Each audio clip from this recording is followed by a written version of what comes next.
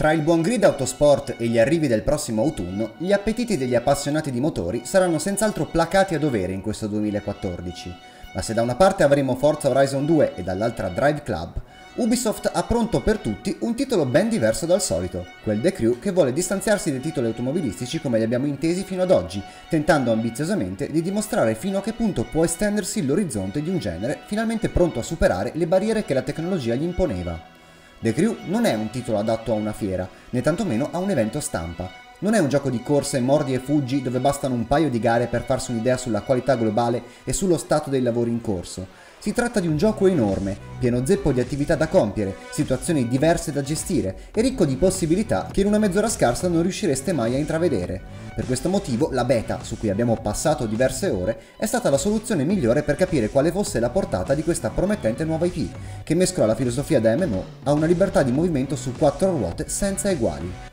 In The Crew potrete attraversare liberamente gli Stati Uniti d'America, in una mappa che, con le dovute proporzioni, è una riproduzione in scala dello sconfinato territorio a stelle e strisce. Vi basti pensare che per muoverci da una costa all'altra degli USA abbiamo impiegato qualcosa come una quarantina di minuti senza mai essere interrotti da un caricamento, il che lascia intendere già da adesso come la vastità dell'open world sia uno dei punti di forza più prepotenti dell'intera produzione. Naturalmente per ottenere risultati simili si sono dovuti trovare alcuni compromessi tecnici ed è per questo che talvolta la profondità di campo non è delle migliori, l'effettistica è ancora un po' rozza e graficamente non siamo affatto a livelli eccelsi. Va però detto che l'impianto globale è godibile e che la fluidità in effetti non ne risente quasi mai, nemmeno quando ci si trova in mezzo a porzioni di strada dove l'affollamento si fa importante elemento niente affatto trascurabile se considerate che il gioco vi obbliga ad adottare uno stile di guida spesso molto spregiudicato, sia per via della sua incontestabile natura arcade, sia perché sono le missioni stesse a richiederlo a gran voce. Nonostante le ragguardevoli dimensioni del mondo di gioco e la quantità di missioni e attività secondarie da portare a termine,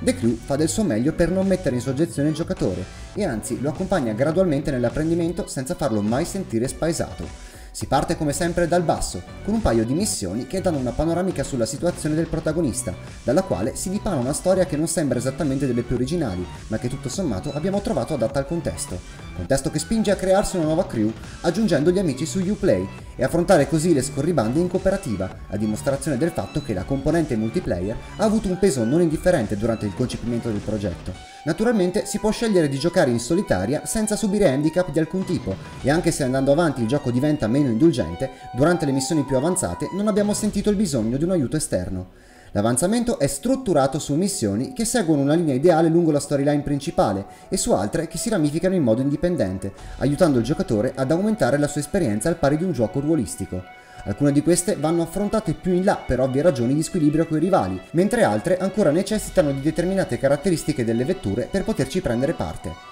Si comincia a collegare street per poi andare verso il tuning più estremo o le sezioni fuori strada. A questo punto va segnalato un complessissimo sistema di modding delle auto, che va dalle parti interne fino ad arrivare alle modifiche estetiche comprensive di decalcomanie.